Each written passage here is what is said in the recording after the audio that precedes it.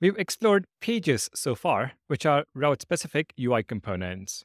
Now let's dive into layouts. A layout is UI that is shared between multiple pages in your application. Think of it like having a consistent structure, such as a header and footer, that appears on every page. Next.js makes it super easy to implement. Creating a layout is straightforward. You just need to default export a React component from a layout.js or layout.tsx file. That component takes a children prop, which Next.js will populate with your page content. Let's look at this in action. I should mention that we don't need to create a layout from scratch because Next.js provides one by default. In your app folder, you will find layout.tsx. Like page.tsx, this follows Next.js's special file naming conventions. This layout.tsx file in the app folder is called the root layout, and it is not optional. Every Next.js app must have one. In fact, Next.js is so insistent about this that if you delete it, it will automatically regenerate the file. Let me show you. Delete, move to trash, refresh localhost 3000 in the browser, and look at that. Next.js has already recreated it. Let's understand the code here. We'll talk about the metadata object later, but for now, let's focus on the React component. Every layout component needs a children prop. This is where your page content will go. In our case, the page.tsx in the app folder becomes the children when layout.tsx renders. If you inspect the elements in Chrome DevTools, you will see an HTML tag with language is equal to English, matching our layout, and a body tag containing an h1 tag welcome home. That is coming from our page.tsx component through the children prop.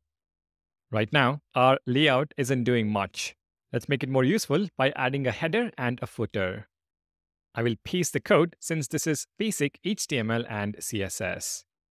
So we have the header tag with style, background color light blue, padding 1 rem, with a paragraph tag that says header.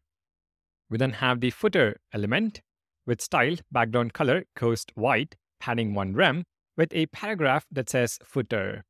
Sandwiched in between header and footer is our children props. Really simple HTML and CSS.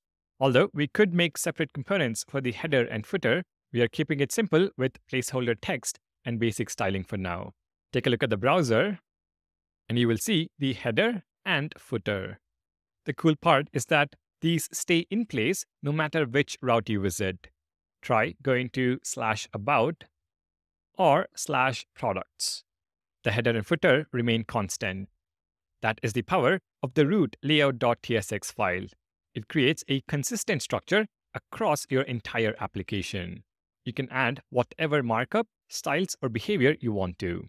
Just remember to include the children prop so your pages can render their unique content.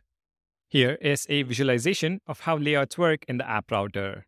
When you visit localhost 3000, the root layout component in layout.tsx in the app folder gets rendered. This contains a header at the top, a footer at the bottom, and the children prop in between. The children prop gets replaced by the component defined in page.tsx within the app folder. When you visit localhost 3000 slash about, the component defined in page.tsx within the about folder replaces the children content in the layout file.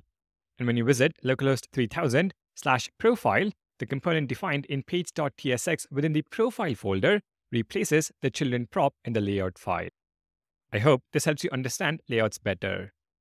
Now here is a quick challenge before we proceed. Try creating your own header and footer components and add them to the root layout. Drop a comment to let me know how it goes. Up next, we will explore nested layouts. Supporting the channel is free. Please like and subscribe, it helps a lot.